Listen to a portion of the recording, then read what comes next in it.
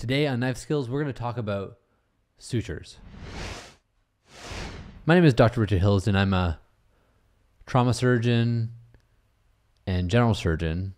And on my channel, Knife Skills, I like to talk about lifestyle, what it's like to be a surgeon, have some entertaining content. But I really also believe this channel at its core is education. So I thought we'd talk a little bit about sutures because it's a common question or a basic thing that most doctors need to know about. And I think a lot of people at home are kind of interested in how do we decide what kind of stitch to use and, and you know, what do we know or what, what do we understand works when it comes to stitches, sewing people up. So first of all, the term suture is really what we use to describe uh, a stitch or a thread that a doctor would use to place in a patient.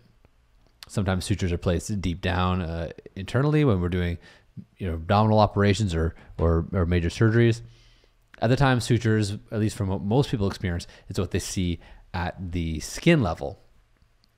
So it's good to understand a little bit about you know what are sutures and, and how do they work and and how to make a decision as to what kind of suture to use. So uh, I do actually have a few uh, stitches here the camera there. So you can see that this is a, a brand called uh, uh, well, the, brand name for this is Prolene. Okay, um, it's a uh, Johnson Johnson product. Their sub brand is uh, Ethicon, and so I've pulled out a few of these uh, from the hospital, so you can see essentially some of the different types of stitches that we have here. I feel like it'd be great to do an unbox therapy uh, video, maybe with something over top to show a little bit more about these, but I'll, I'll pull these out and you can see what they are um, as we go along. So when you think about stitches, probably the first thing to think about are how we categorize sutures. So typically we'll categorize sutures into, into two broad categories. The first category is the absorbable sutures. So those dissolve at some point over time and non-absorbable sutures or permanent sutures. So a few examples here. Um, so uh, this example that I have here is uh, the uh, monocryl. You'll typically notice that the uh, absorbable type like this will be in packaging where you can't see the needle inside because the concern is that the light and the environment really can actually break these down a little bit. They're a little more sensitive to the environment. Whereas you compare that to a, um, well, this is a silk, for example. This is a, a silk suture. Let's see if I get a better lighting here. Find hard to get that camera to focus right on it. Struggling a little bit with this particular packaging because it's reflected. There we go. We get the silk there. Perfect. Silk showing up. And this is a uh, considered a non-absorbable suture. Now, I do think silk is actually a little bit interesting because it's considered non-absorbable. It's an organic, um, but from my experience, I don't find silks in patients 10, 20 years out who've had surgery, who've definitely had silks before. Whereas we definitely will find Prolene sutures, again, right there, Prolene. And this is an example where you can actually see, again, it's a little hard on this because it's actually just a fine suture with that lighting. But there is a um, uh, a stitch that you can visibly see there. Um, you will find Prolenes uh, in patients years later. So they, I would say, silk is considered non-absorbable, but in practice there may be a component of absorption to it. So those are the two categories. The other thing that we do is we break down stitches into monofilament and polyfilament stitches. So again, um, you're not going to be able to appreciate it, but the uh, this is a silk, which is actually a braided uh, stitch or a polyfilament stitch. And uh, again, monocryl is the example I have here, uh, which is the essentially, again, once I said, the um, absorbable monofilaments. Prolenes are also monofilament, and the uh, this is a, a fourth stitch I'm going to show uh, uh, in a little bit. The ethicon or the uh, Ethilon, I should say, which is a um, nylon stitch that is uh, uh, non uh, absorbable monofilament. So let me just pull it out here. Again, this is where I think a, an unbox therapy video would be perfect. This actually might help a little bit by being able to see the camera here. Really only zooming in is the way to get it, uh, get you see, see that. So um, the first category is is absorbable versus non-absorbable. The second category is braided or polyfilament versus uh, monofilament. So why would you want to use one or the other? So lots of reasons. Uh, and so sometimes when people ask, you know, why are you doing something? It's because of reasons. Um, essentially, we'll have our own reasons for, for using certain things, but essentially, some tissues over the long term do depend on the support of the stitch that you put in. Um, so, a good example of this would be like a vascular anastomosis, where you're uh, sewing a, let's say, a fabric conduit to a artery or a vein. Those will be sewn almost certainly with a permanent non-absorbable stitch. And the reason why that is is because you're sewing soft tissue to a graft that's actually uh, synthetic. And so it's not the human body. That's one of the reasons why you'd want to use a permanent non-absorbable stitch. A, another uh, reason would be when you're stitching skin, absorbable stitches have more of an immune response. And so as a result, uh, you're going to need to use um, a non-absorbable stitch if you want to have the best cosmetic results. So typically you'll find people will use a non-absorbable stitch on the skin and they'll have those stitches removed in say a week or two depending on where those tissues are. And that would be a good example of using a non-absorbable stitch. On the other hand, stitches that are within the soft tissue, stitches that are not holding a permanent implant like a mesh or a vascular anastomosis, those ideally would actually be uh, not would be absorbable. And the reason why that would be is that whenever you put foreign body into the human body, foreign material into the human body, there's a chance that bacteria could contaminate that and colonize that and be a permanent what we say nidus for an abscess. So we want to use an absorbable stitch when we're doing anything that's going to be under the skin or permanently uh, within the body if you can. Another example would be when we're operating on the um, any kind of mucosa or any kind of um, epithelialized tract, hard to say that, epithelialized tract, like the urogenital tract, you're going to want to use absorbable stitches because, again, having a permanent stitch there can create an opportunity for things like stones to form, like I said, bacteria to colonize, those types of things. So those are the reason why you'd use absorbable versus non-absorbable. And that's not actually a fully comprehensive list. Every surgeon and every specialty is going to have its own unique um, nuances there.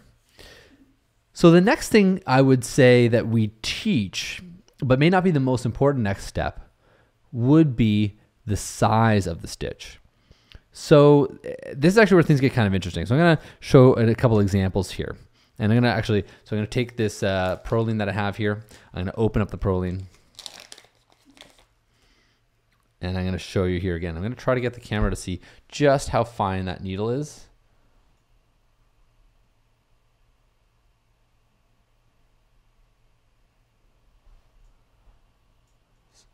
Super difficult to get to focus on this.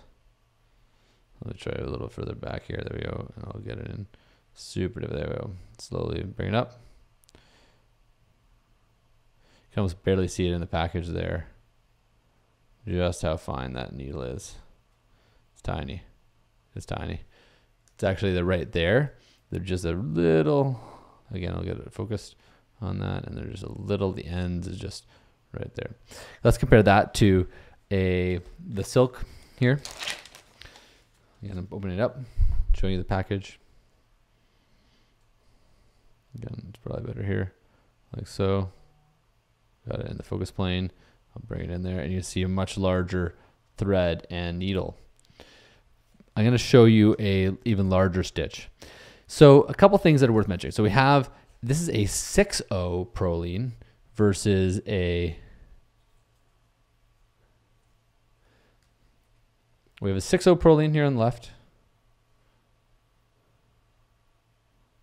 Again, versus an O silk on the right. Both of these are absorb are permanent stitches, I should say. This one is a monofilament. This one is a braided stitch. Okay. Now, the number is bigger. It seems anyway. It seems the number is bigger. 6O versus O.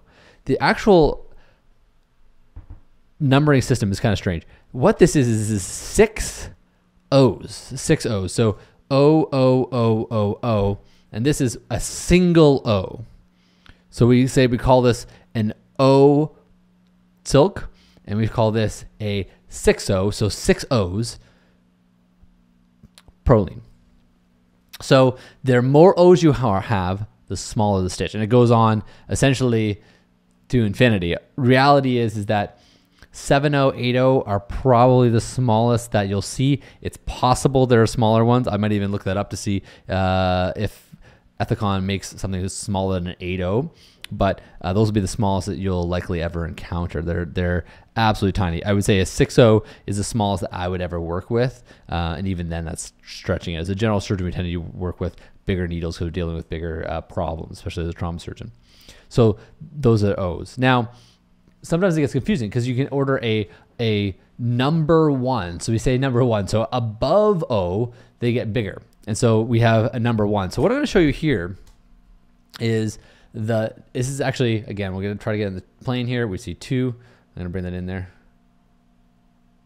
A little hard to focus on that again with my, with this lighting. Definitely going to try an unbox therapy video at some point uh, here style uh, so you can see it a little bit better. So there we go. There's a number two Ethilon uh, stitch here is what we have. So it's number two. Now I'm gonna open this up and you're gonna see a couple unique things here about this, okay? So first of all, the needle on that is absolutely massive, okay? Absolutely massive needle. We do use this in trauma sometimes. And the purpose of that is to essentially hold uh, the skin and fascia in one bite. And again, we have like a, a quite a large uh, thread here that goes along that needle. So that's quite large. So that is considered a, a number two. And again, we'll compare that to a O, which is a silk here. I'm just going to handle it with my hand here. Again, probably better to have a driver because uh, you can injure yourself.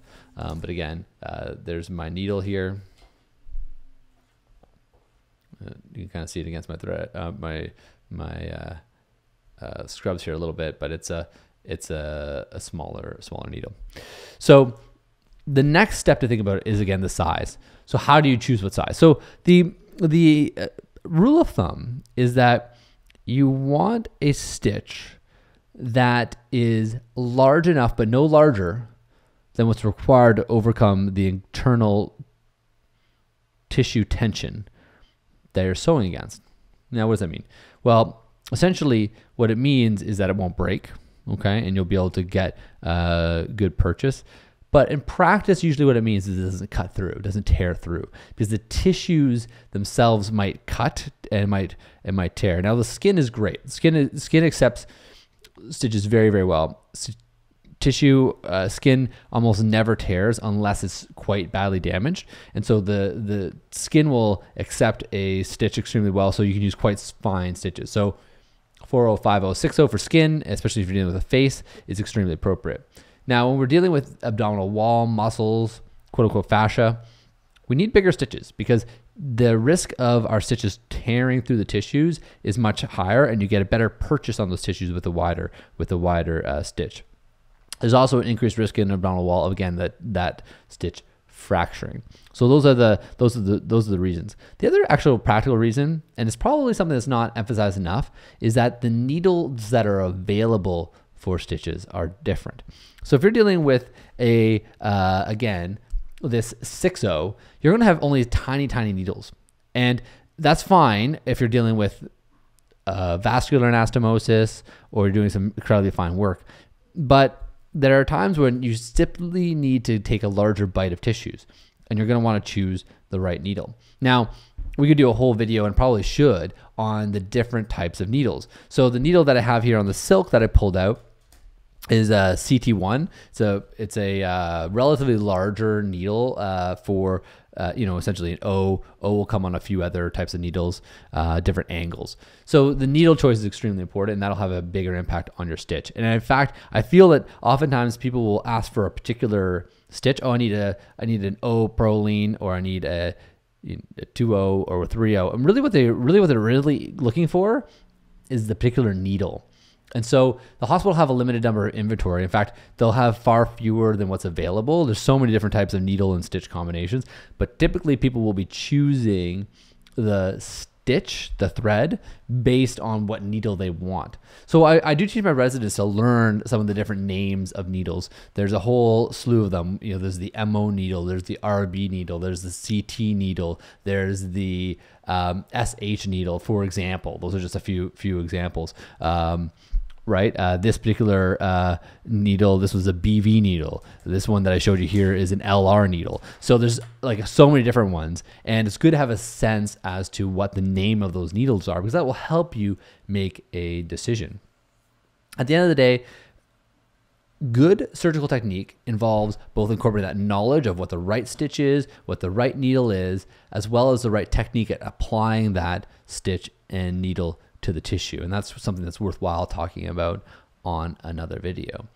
So that is sutures in a nutshell. My name is Dr. Richard Hilsden. You've been watching Knife Skills. Thank you very much.